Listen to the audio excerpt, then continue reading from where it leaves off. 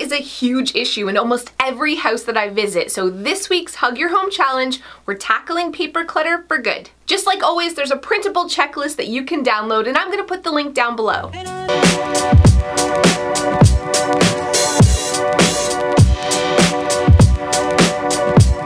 First thing you need to do is create an action file in your home. This is a place where you put incoming mail, you put things that need to be read, things that need to be paid, paper that you have to deal with immediately. That's called either a command center or an action file.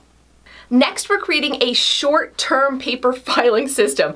This is like my biggest pet peeve. People will pay a bill, they'll they'll they'll deal with their paper and then they put it in a filing cabinet where it goes to die forever.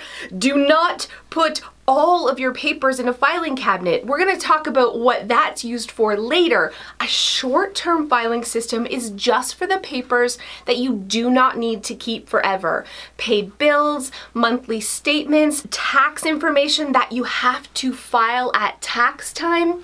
A short-term filing system is where those papers go after they leave your action file. If you're a detailed organizer, I love using an accordion file folder for your short-term system, but if you need fast and simple, just a simple basket or a bin where you can toss all your short-term papers in and deal with them at tax time totally works too.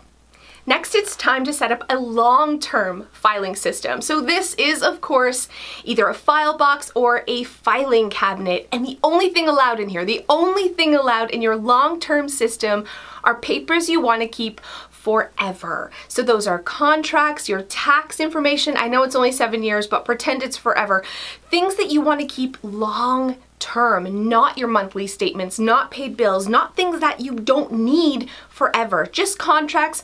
I'm gonna put a link down below to a printable so you can see exactly what papers are different. It's important to have two systems because listen, we're gonna live for like another 40, 50, 60 years. I don't know how old you are, but imagine if you were keeping every piece of paper that came in your house in a long-term system.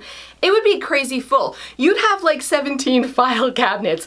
You don't need that. That's why it's so important that the only things that we're keeping in our long term are the things we're keeping forever. Next, I want you to set up a household management binder or other binders for those papers that you deal with and access on a regular basis. So these are things you probably do want to keep forever, but not necessarily in a filing cabinet, like your emergency contact information or I don't, don't know what your papers look like, but I know what my papers look like. I have schedules and other things that I'm dealing with on a regular basis, but not every single day. So it's kind of like in between an action file and a short-term, long-term. Use some binders. Use some binders for those papers you don't know where else to put. I put sticky notes all over mine so you don't see my personal information, but this is where I keep the papers that I access from time to time, so I don't want them in a filing cabinet, but there's emergency contact, there's phone numbers, there's coupons, there's takeout recipes, there's birthdays of friends and family, my kids' school information, calendars, schedules, that paper clutter that's all over your fridge. That's what goes in a household management binder. And I also have a meal planning binder and I have a binder for important financial information and passwords the type of stuff you don't necessarily want to keep in a filing cabinet is perfect to go in a binder. Last but not least, I want you to shred your faces off. It's time to shred old bills that have been paid, monthly statements from your bank, all of those papers that you do not need. And a lot of people have extreme anxiety about getting rid of paper. But when is the last time you looked at an old electricity bill or your, I don't know, property tax bill from 2008? Why are you keeping them? You do not need them. It is time to get a shredder, use it often, and let all of that old paper clutter go.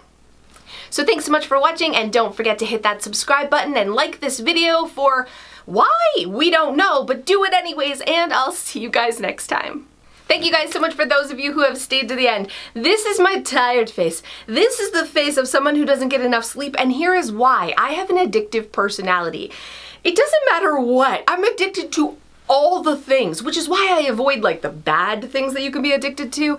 Not food. I don't avoid that. I avoid like alcohol, drugs, things that I could like, cause I'd want them all, you know? So I just, I don't put myself in that situation. But I've recently had a slight addiction to a game called Fortnite and I'm a, I'm a middle-aged woman. So why am I playing Fortnite? Here's why. Because my son is six and he wanted to play Fortnite and being the good, responsible parent that I am, I was like, I better play it with you to make sure there's not like blood and guts and swearing and like bad stuff because that's a parenting job. And I played it once with him and now I'm hooked. And after he goes to bed and my kids go to bed, I play freaking Fortnite till like three in the morning. It's, it's a problem. I suck. I suck so hard, and yet I can't stop. And hopefully I replace this with a new addiction soon so I can stop the video game addiction. Maybe, I don't know, it was Netflix. It's always something. Let me know your crazy addictions in the comments below, and I'll see you next time.